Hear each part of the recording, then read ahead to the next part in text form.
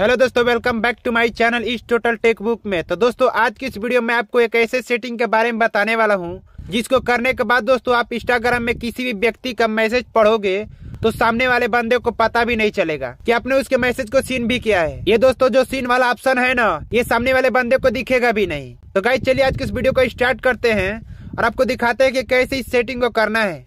But उससे पहले channel पर नहीं तो इस वीडियो को लाइक करके चैनल को सब्सक्राइब ज़रूर कर दीजिएगा। हाँ तो दोस्तों, इसके लिए सबसे पहले आपको करना क्या है कि अपने इंस्टाग्राम एप्लीकेशन को ओपन कर लेना है। ओपन करने के बाद दोस्तों, आपको लेफ़्ट साइड में इस तरह से कर देना है। करने के बाद दोस्तों, यहाँ पर जिस भी व्यक्ति का प्राइवेसी ऑन करना है, उसके प्रोफ़ाइल पर आपको क्लिक कर देना है। क्लिक करने के बाद दोस्तों, यहाँ पर ऊपर के साइड में यहाँ पर आपको क्लिक कर देना है। क्लिक करने के बाद दोस्तों, यहाँ पर प्राइवेसी एंड सेफ्टी का एक ऑप्शन दिखाई देगा। इस पर आपको क्लिक कर देना है।